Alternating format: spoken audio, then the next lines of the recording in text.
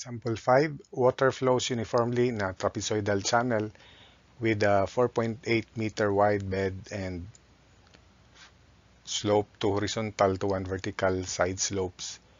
If the bed slope is 1 over 4,400, determine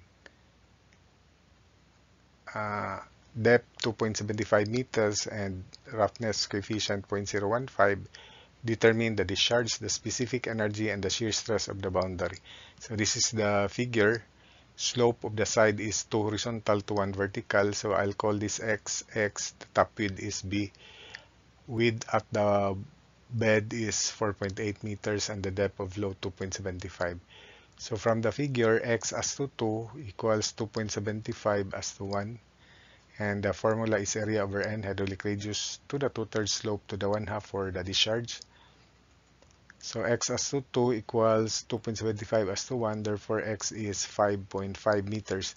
The top width therefore is 4.8 plus 2x. 4.8 plus 2 times 5.5, so that's 15.8 as shown in the figure. So area therefore is 1 half of quantity 15.8 plus 4.8 times 2.75. This is 28.325 square meters.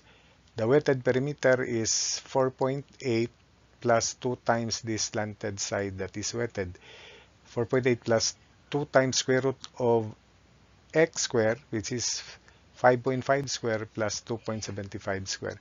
So 17.098 meters. Therefore, the hydraulic radius is 28.325 over 17.098, so 1.657 meters.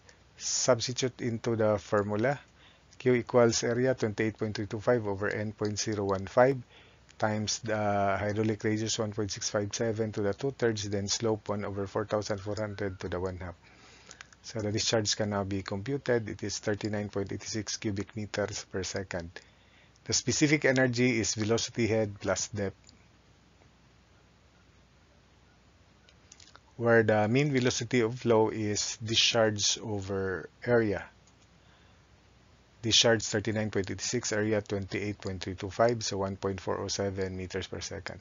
So substitute 1.407 square over 19.62 plus depth of flow 2.75. So the specific energy is 2.851 meters.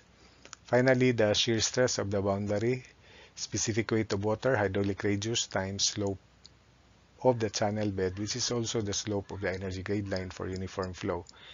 So 9,810, hydraulic radius 1.657, slope 1 over 4,400. So the shear stress of the boundary is 3.694 pascals.